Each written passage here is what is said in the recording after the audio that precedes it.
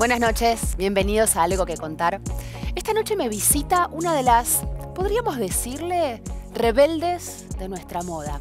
Es una mujer que, a pesar de formar parte desde muy chica del mainstream de la industria, decidió no formatear su vida para encajar. Y ella dice que es muy tímida. Vamos a ver, vamos a ver. Vamos a conocerlo un poco más. Bienvenida a Algo que Contar, Soledad Solaro, ¿no? Y además, ¿cómo se vino? Yo no sé si no Me dijeron que tenía que venir espléndida para vos y no tenía que ser menos. ¿Cómo le va, mi reina? Bien, ¿y vos? Bien, placer estar acá. Qué lindo. Además, bueno, coordinamos el azul. Por supuesto, teníamos que estar de acuerdo. Machi, y dijimos, acá estamos. Sentate, Sole, bienvenida. Ay, gracias. Sole, ¿por qué elegiste esta foto? Me encantó lo de rebelde que dijiste. Es que dale, te queda pintada la definición, ¿no? no? Eh, no, no sé, decís que... A lo largo de la entrevista vamos a ver por qué. Dale. ¿Por qué elegí esta foto? Eh, ella es mi familia, mi hermano que vive en Realicó, mamá, papá, ambos están, separados y convueltos a casar, porque en definitiva son quienes me formaron a mí. Quienes Sole hoy, creo que mis valores siempre empiezan por casa, más allá después uno vaya al colegio y demás, y una agradecida de esos valores que a mí me inculcaron siempre y que pese a, yo soy de La Pampa, de Realicó La Pampa, ruta 188, como digo siempre. ¿8.000 habitantes? 8.000 habitantes.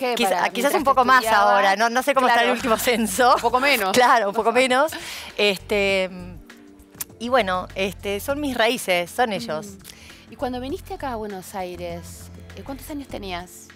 Y yo me vine de chica, 14 años, 13 años, pues yo a los 15 años ya, ya trabajaba de antes, pero a los 15 me acuerdo que lo hice cumpliendo 15 años en un mega desfile en el Hotel Alvear. Por eso siempre me acuerdo patente que siempre fue O sea que llegaste a los 14 sin lugar a dudas. Sí.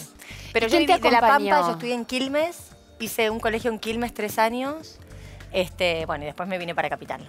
¿Pero ya habías venido a trabajar o fue un plan familiar? Lo que pasa que eh, mamás de papás de La Pampa, pero vivió toda su vida en Buenos Aires estudiando. Mamás de Buenos Aires se conocieron y se los llevó al campo. Papá es ingeniero agrónomo. Eh, y allá em, yo hice toda mi primaria, va, sí, séptimo grado ya lo hice en Quilmes.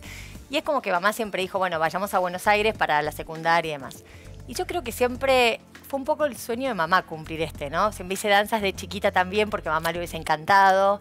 Eh, y creo que me metí en este mundo un poco por, por ella. De hecho, Hoy me preguntan todas mis colegas, ¿cómo está Sole? Y automáticamente, ¿y cómo está tu mamá? Ah, Porque mi mamá me esperaba horas. Es como si fuera, como viste que te preguntan por un hijo, cuando sos mamá inmediatamente te preguntan por tu mamá. Pero porque mi mamá me esperaba, los castings duran horas, o duraban horas. Yo ahora, la verdad que no sé cuánto duran, pero eran llegar a la agencia de Doto, porque mis comienzos fueron siempre en Doto, y estar horas y horas esperando que llegue el cliente, que Pancho haga la introducción con el cliente y después empezar nosotras que nos íbamos anotando por orden de llegada. Y mi mamá se sentaba en el bar de la esquina y por ahí me tenía que esperar cuatro horas, cinco horas, tres horas. Una santa. La verdad que sí, y le agradezco mucho porque en un punto también, por más de que ella no tenía ni idea de este medio, yo creo que la gente al verte acompañada... Sin duda. Cuidaba más o respetaba más, o no lo sé es muy fácil marearse. Yo lo digo siempre, en nuestro ambiente a los 16 años, 17 años. Pero es imposible no hacerlo. Tenías. Es imposible no hacerlo. tus amigas iban a bailar y vos de repente ibas a bailar, pero te invitaban a la zona VIP porque te invitaban con el champagne, te invitaban con esto. Ibas a la fiesta de, las revistas, mega revistas que hacían unas fiestas fabulosas, que vos ibas a desfilar. Y claro, ¿cuál es el límite de qué sí, qué no? Quizás yo tuve una educación, es verdad, bastante no sé si la palabra es rígida, pero bastante estricta, donde a mí no es que me dejaban salir a bailar cuando mis amigas iban a bailar a mm. matineo, me dejaban muy de vez en cuando.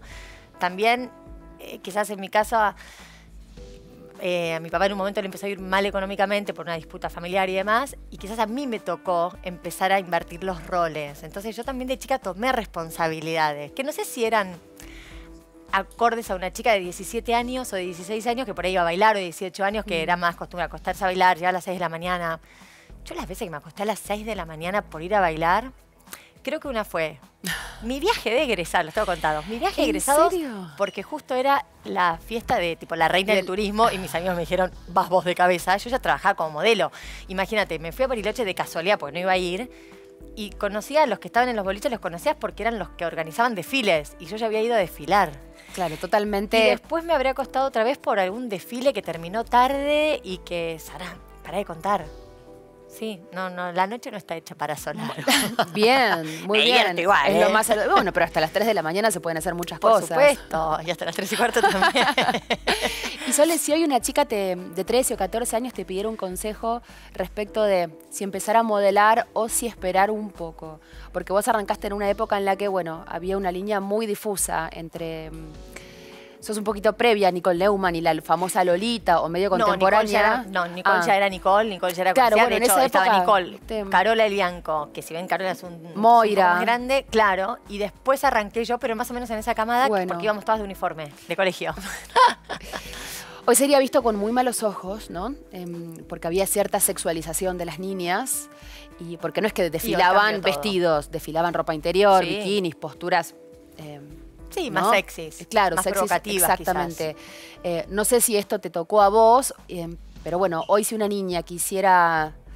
Una niña se ve más como una niña hoy, Lo- más mirá, que lo que antes. pasa es que yo en mi carrera cuando arranqué Agus siempre arranqué haciendo eh, la revista para ti que tenía para ti teens, que era para teenagers, que era para más chicas. Entonces, no, no lo, por ahí es la costumbre de uno que uno trabajó desde muy chica, entonces yo no lo veo tan así. Y hoy también mutó todo y vos las ves a las chicas en las redes sociales súper jóvenes, Totalmente. también exhibiéndose de una manera súper provocativa y por ahí lo hacen por amor al arte o por ellas mismas porque les divierte, porque les gusta, no las voy a juzgar, Es este, que es distinta cuando vos estás en una producción y estás cuidada, es como, sí, supongo, te, te lo linkeo con algo que quizás es un paralelismo que nada que ver, pero cuando los actores están en una escena eh, muy íntima, están rodeados de, un set de filmación y están todas las imágenes, los famosos cuidados.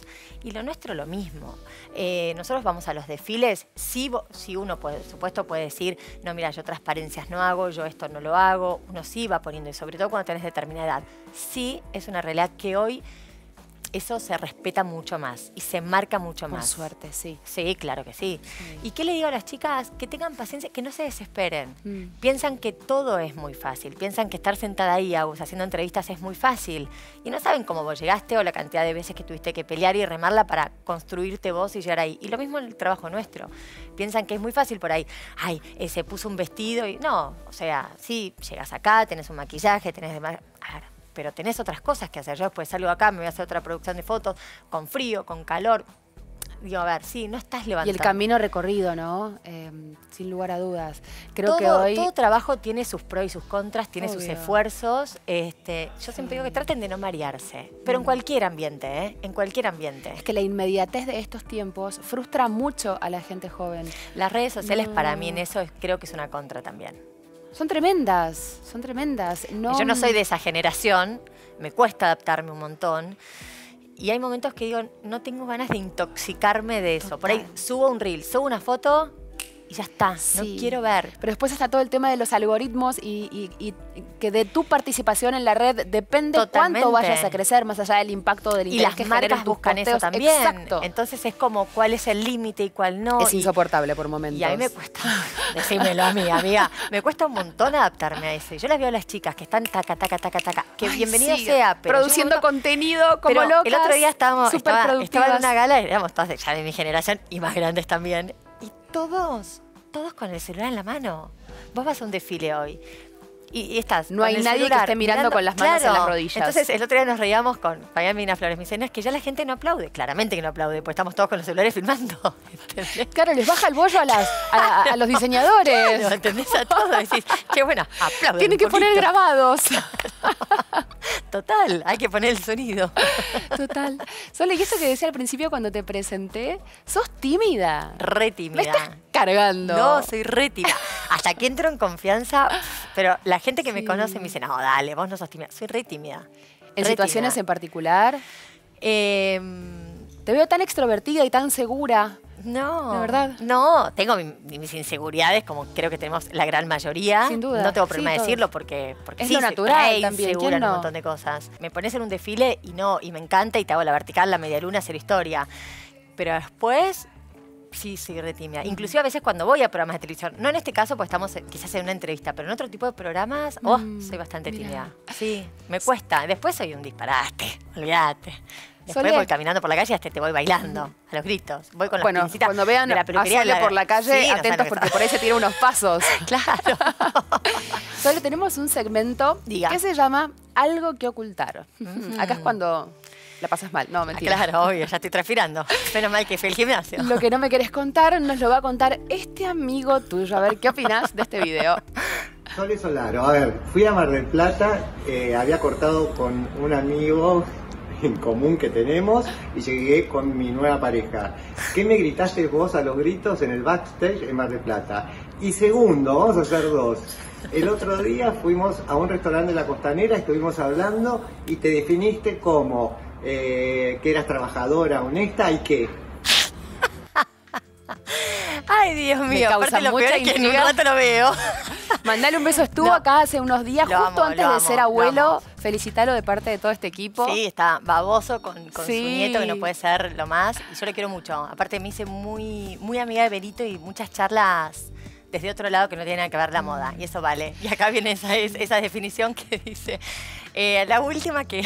A la última, vamos, que muy gracioso. Dije, la verdad que yo no entiendo. Le digo, soy trabajadora, soy esto, soy lo otro. Estamos hablando de los vínculos. Digo, ¿qué pasa que Solaro está sola? Pero no, el, el que el soy lo otro, por favor, especificalo. Entonces Trabajadora, honesta y. Claro, y en un momento le dije, no sé, le digo, soy una divina, soy divina. Y Benito me dice, bah, divina, que lo digas vos, dale, Solaro, por favor. Pero ¿cómo no? Sos Y la dije, uno. soy divina, soy trabajadora. Tal soy cual. no sé qué, soy buena onda. Y dije, cuando le clavé soy divina, la cara de Benito se transformó y me dice, ah, me dice, que vos te digas soy divina, me dice, te lo pido por Ay, favor. si no lo dice una, ¿quién lo va a decir? No, Por favor. Entonces eso quedó para la historia y después durante creo semanas consecutivas me estuvo cargando con todo eso. Y la primera anécdota es que él había estado en pareja con también un amigo mío, a quien yo amo muchísimo, y, y él había llegado a Mar del Plata, ese desfile, y, había esta- y estaba justo con su nueva pareja. Y yo lo encaro, ¿te parece venir vos justo al desfile con tu nueva pareja cuando este, este territorio es de tu amigo, es de mi amigo, no vamos a dar nombre? ¿Te parece? Adelante de la pareja diciendo- nueva.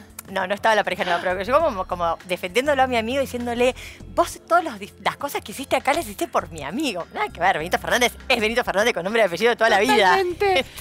Ah, te pusiste la gorra mal. Sí, claro. Sí, en las buenas y en las malas, olvídate. Te Soy imagino Scorpio muy... defiendo a mis amigos a ah, morir. eso explica muchas cosas. Claro, sí, sí, sí. Esto que decías, lo digo yo para que no lo digas vos. Diga. Sos trabajadora, sos franca, honesta, defendés a tus seres queridos, sos divina.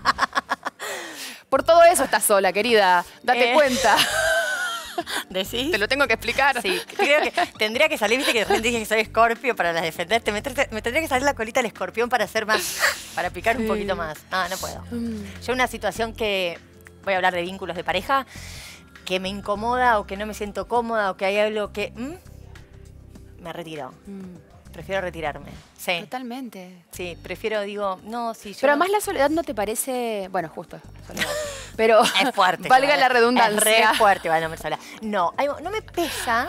No, al contrario, me parece un estado muy disfrutable, ¿o no? Sí, pero también hay momentos que, a ver, te lo voy a decir por este lado, Agus. Vos quizás hoy tenés un hijo y tu hijo también compartís un montón de cosas desde otro lado. Y también disfrutás tu momento cuando estás sola. Eh, cuando uno está sola y tenés a toda tu familia lejos. Mm. Yo, mi mamá vive en San Pedro, mi papá vive en Carlos Tejedor, mi hermano está viviendo en, en Realicó, esa foto es re chica, pero es la única foto familiar que yo tenía. Eh, sí te pesa. Después decís, "Uh, che, necesito el abrazo de papá. entiendo. Necesito la charla de... Y no los tenés. Y no solamente decir, sino que el día a día, ya de por sí acá con, con las amistades, pasa que el día a día te va devorando. Porque tenés una cosa, porque tenés que llevar a buscar el colegio, porque tenés que hacer tus cosas, porque tenés que ir a la peluquería. Uh, entonces decís, bueno, ¿y en qué momento queda para, para esa contención que vos tenés? Imagínate con la distancia. Pero el hecho del día a día lo perdés también. Y tu familia dice, ellos no saben que estoy quizás hoy acá con vos. ¿Entendés? O sea, y no saben que, sé, mañana, que ayer estuve con fiebre, por ejemplo. Sí. Pero lo que noto en vos es que no tenés el mandato de la pareja instalado como, y, y más siendo una persona pública, viste que siempre garpa. eh, la nota sobre la pareja, las revistas del corazón, digamos, cuando tiene una otro se- título. Avive muchos giles a vos. Me imagino. Me imagino, al rolete, Lo, me lo- lo una siempre y, y amigas mías y colegas me dicen, mis ay, Sole, me dice, ¿cómo me acuerdo Sí. de vos cuando tomando un café decías, "Ah, estoy harta de avivar giles? Ay, me dice, me pasa lo mismo. Porque muchos te dicen que no les gusta o que no les divierte, no quieren la foto. Y después te chupan la y sangre. después les gusta. se- y se maquillan más que vos. Sí. Sí. Y después cuando vos cortás con esa pareja, necesitan como automáticamente seguir estando. Desde algún contacto o desde buscarse una nueva pareja del medio o desde algo. Como esa abstinencia de lo que les no dabas. Sé, les divierte porque genera, piensan que le vas a dar celos o que le va a dar otra cosa y decís, no, o sea, digo, pero sí, es Ay, muy qué difícil poco también. genuino. Y por otro ¿no? lado, pero ¿sabes qué pasa? Y eso me lo dijo mucho Benito. Me dice, Sole, a ver, sos Sole Solaro. Y la persona que esté con vos, así te tendrás. Después es aprendizaje de cada uno. Hay personas que, por supuesto, no les divertía estar en el medio, ni les interesaba sacarse una foto o algo por el estilo. Y después, nosotros también tenemos un trabajo que lo podés compartir con tu pareja. Ir a un evento lo podés compartir con tu pareja. Ir a una gala lo podés compartir con tu pareja. De hecho, es lindo compartirlo con tu pareja. Bueno, después está Desde qué lugar tu pareja se acomoda a todo eso. Y de qué lugar también acompa- acompaña. Pues lindo sentirse también acompañada. Para sola, imagínate. Sí, uf. Y hago así pensando que está la foto de fondo. Claro, olvídate. Claro. Y, y- y sin entrar Pero en sigo apostando igual, ¿eh? Sigo apostando. Obvio. Sigo apostando porque creo en el amor, porque yo todo lo que tenga que hacer siempre es del vínculo. A mí muchas amigas me dicen, ay, pero Sole, y, y ser pareja y, y- y quedar embarazada y hacer mamá soltera. Yo no podría ser mamá soltera, yo hoy. O sea, no, no sé, no me siento con esas agallas. Admiro profundamente a los que lo llevaron adelante. Yo no podría, pero quizás mi Es un bardo, te aviso. es un bardo divino, si se quiere, pero es un bardo. Bueno, imagínate con todo, todo disperso. Total. Entonces, ¿qué ayuda a Totalmente. veces? Porque Y congelaste óvulos. congelé óvulos. Eh, ¿Vos sentís, Sole, quizá que de no ser madre te quedaría una asignatura pendiente o fluís con la posibilidad de que eso puede pasar o no puede pasar? Mira, quizás a esta edad estoy ya cerrando. Yo tengo 44 años, que lo cumplí hace muy poco. eh, quizás estoy ce- cerrando ya esa etapa. Entonces tengo que ir a pagar el mantenimiento de óvulos o decirle chavo hasta acá llegaron. Donalos a la ciencia. Claro, por supuesto.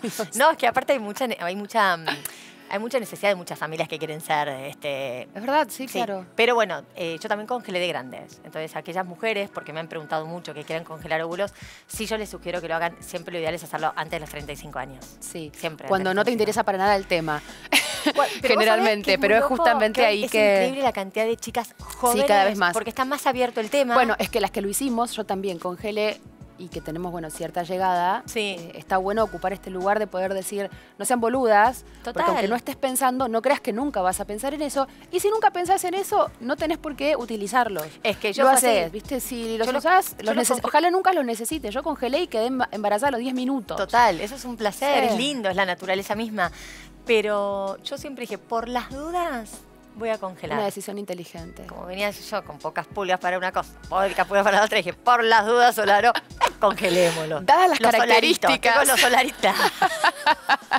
Bien, y considerando el que soy trabajadora, soy no sé qué, soy divina. Divina. Dije, "Ah, vamos a congelar los solaritos. Así que están los solaritos ahí congelados a la vuelta de mi casa. Ay, Sol, eso es lo más. Me encanta esta charla. Hacemos una pausa y seguimos Lo conversando. que usted diga. Ya venimos.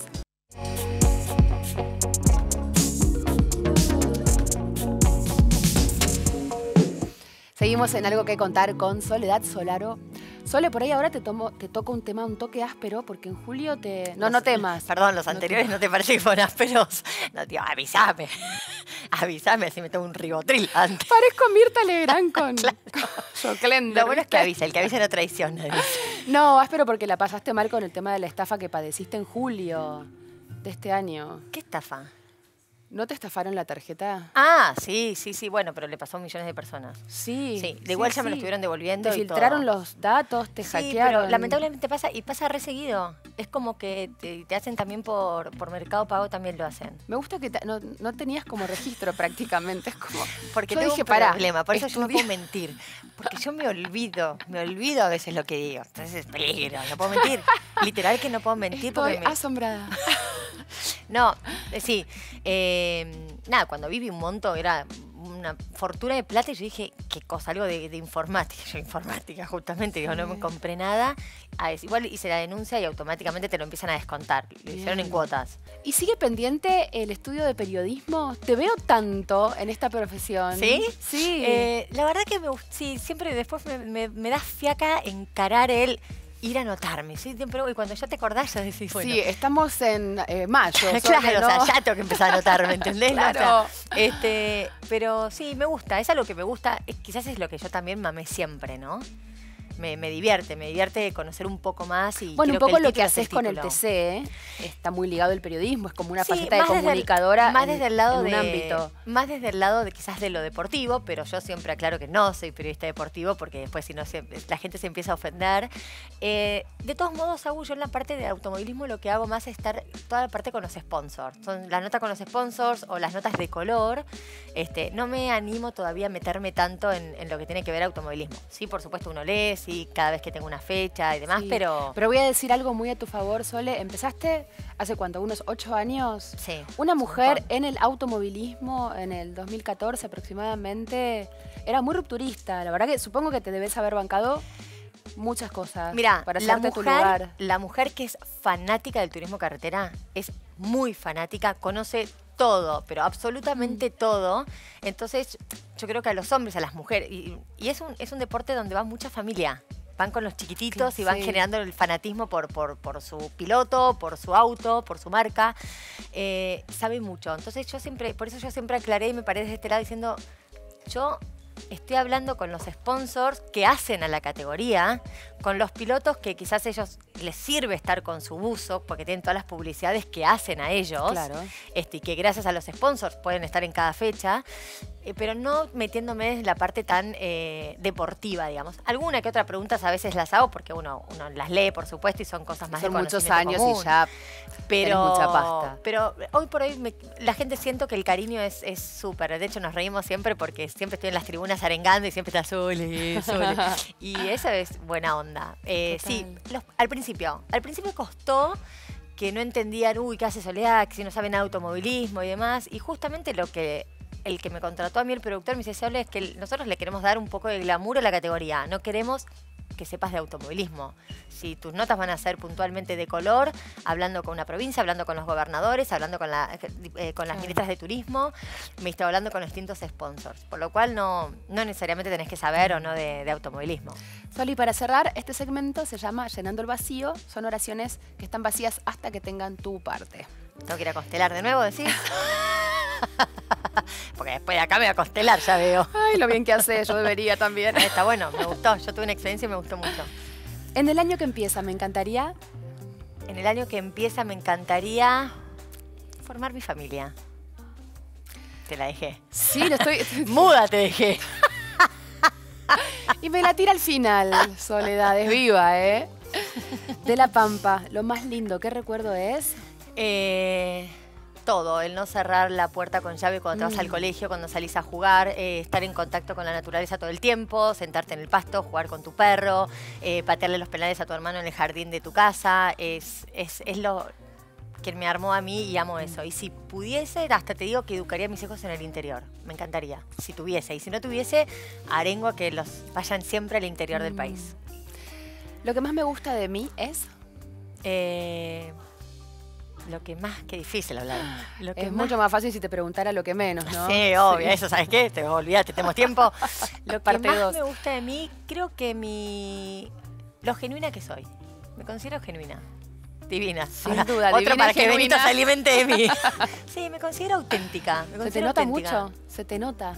Por eso no puedo mentir, porque Sí. me olvido lo que digo. Entonces soy auténtica. Por ahí, de las estafas, mirá, si no te vas a olvidar de lo que decís, por ahí, reina. te, por ahí te digo algo, eh, quizás a veces los modos, por los mecanismos de defensa de uno, porque no es tan sutil para decir algunas cosas, eh, pueden ser y, y lastiman o chocan, pero, pero lo digo, lo digo. A veces tardan algunas cosas, después exploto. Y la última, ¿la moda argentina necesita? La moda argentina, más apoyo quizás. Mm. Sí, tienen que, que volver a tener más apoyo toda la industria, está complicada la industria. eh, bueno, el hecho de las importaciones, cuesta conseguir las telas, sobre todo para los diseñadores. Mm. Y va a pasar, bueno, pasó Benito y te lo habrá dicho, sí. Y es muy caro para nosotros también consumir acá. Mm. la ropa. Bueno, te hago la pregunta que le hago a todas las invitadas e invitados. Sole, ¿te arrepentís de haber venido? No, placer Ay. y por más charlas. Ay, sí, por me por encantó. sigamos con un café nosotras. Me encantó conocerte fuera de aquella gala. Sí, eh, es verdad. Y, tener aparte siempre tiempo- en las redes buena onda, pero igual nos debíamos esto. Sí, me acuerdo haberte visto. mm, eh, yo formé parte de un programa Incorrectas. Claro. Luego me fui y entraste vos y dije, se está luciendo. Y ahí te dije, ahí te dije, ay, no, genia". está, justo cuando yo iba vos no estabas. Qué lindo verte brillar así. sí. Gracias. Un placer haberte Gracias por recibido, esta nota. Sole. A Placer. vos. Placer. Buenas noches.